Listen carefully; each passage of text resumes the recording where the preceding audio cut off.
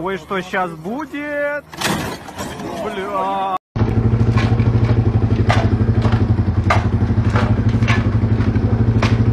What kind of ninja type shit is that? Okay, guys, I did it. I figured out the code. First, we look at the key to know which number to add. Next, we have Donald, which equals 50. So do his common catchphrases.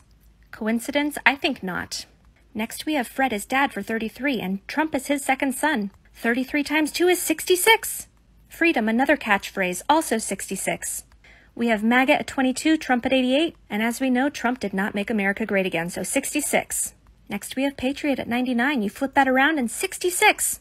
And as we all know, Trump is trash, which equals 66. But wait, there's more. Donald has six letters in it.